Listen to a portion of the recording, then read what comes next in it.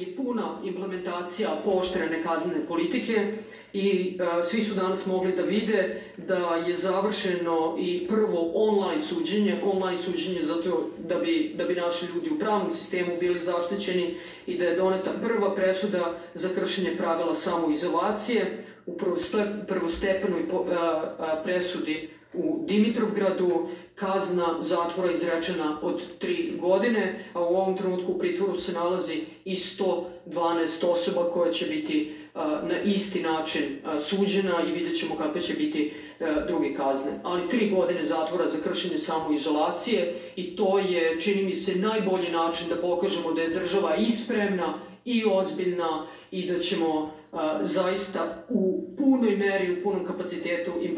implementirati ovu poštrenu kaznenu politiku da bi zaštitili naše građane i svaki život u Republici Srbiji.